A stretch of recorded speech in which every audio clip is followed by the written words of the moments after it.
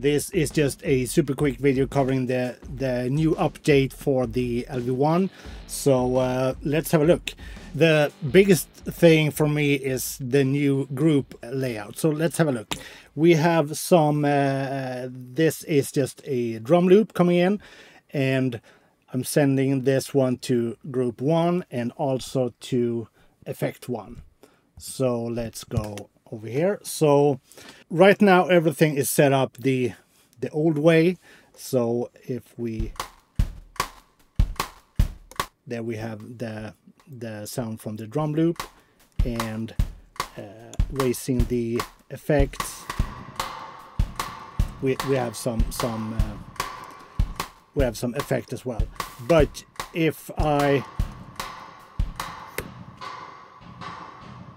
if I turn down the the group the effect still goes to the left right. And the new way it works is let's uh, go into the group. And up here you can change this one to be uh, post effects. And uh, by doing so we can go to the to the FX and send this one uh, not to the left right but to group one.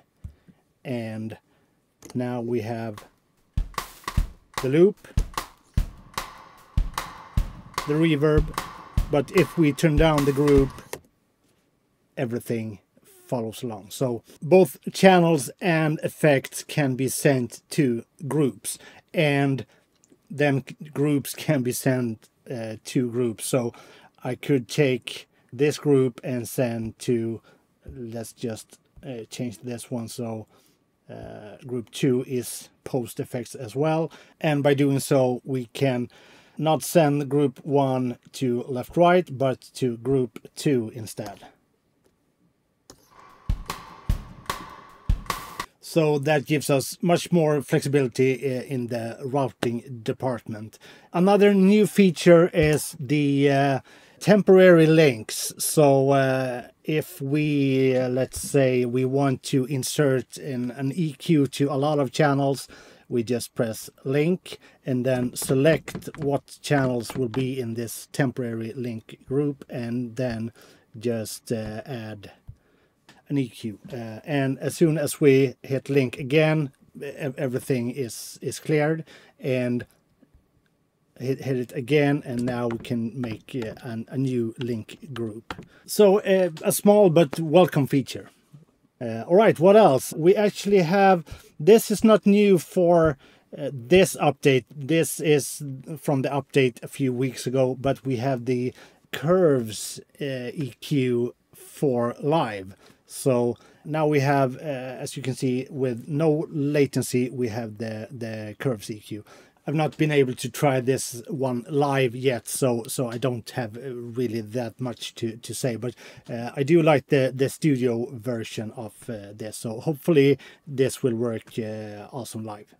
All right, what else? There are a few minor. Uh, well, yeah, if you have the Waves Extreme servers, there will be a firmware update. So just hit the firmware button and things will uh, update. And then we have you can now choose to just show the, the plugins that you have a uh, valid license for. And with the user keys, let's just uh, create a user key. Now you can have uh, custom labels for all of your user keys. So you can have all of your user keys called uh, Joe. And you can also fire them uh, from here. Perfect. So that's about it. Thanks, Waves, and thanks for watching. Take care.